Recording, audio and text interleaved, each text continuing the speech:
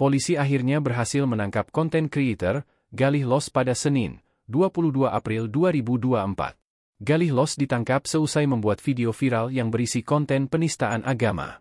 Terbaru, Galih Los kini ditetapkan sebagai tersangka. Hal itu diungkap Dirkrimsus Polda Metro Jaya, Kombes Ade Safri. Ade Safri mengatakan, saat ini pihaknya masih melakukan pemeriksaan terhadap Galih Los. Sebelumnya, tim gabungan Bareskrim Polri dan Polda Metro Jaya menangkap Galih pada Senin malam. Dakan konten video yang viral, Galih memberikan tebak-tebakan kepada anak kecil tentang hewan yang bisa mengaji. Ia pun memberikan jawaban atas pertanyaan itu dengan jawaban paustas. Galih Los kembali bertanya terkait tebak-tebakan tersebut.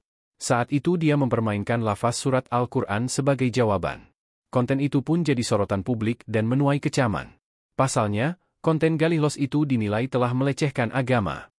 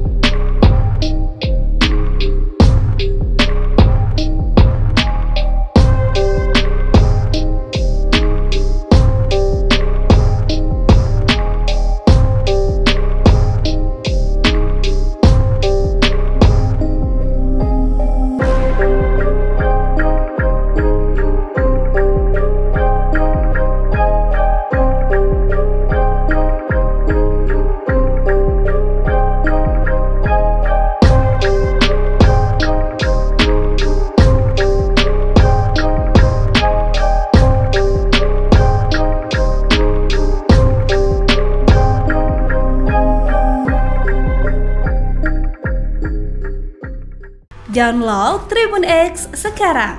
Menghadirkan lokal menjadi Indonesia.